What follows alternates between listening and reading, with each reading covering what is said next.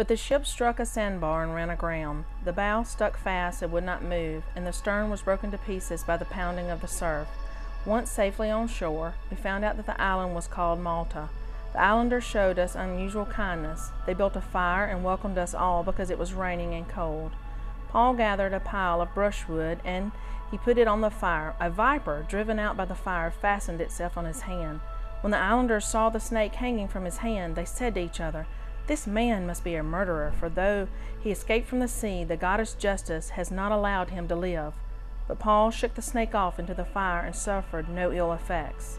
The people expected him to swell up or suddenly fall dead, but after waiting a long time and seeing nothing unusual happen to him, they changed their mind and said he was a god. There was an estate nearby that belonged to Publius, the chief official of the island. He welcomed us to his home and showed us generous hospitality for three days. His father was sick in bed, suffering from fever and dysentery. Paul went in to see him and after prayer placed his hands on him and healed him. When this had happened, the rest of the sick on the island came and were cured. They honored us in many ways, and when we were ready to sail, they furnished us with the supplies we needed.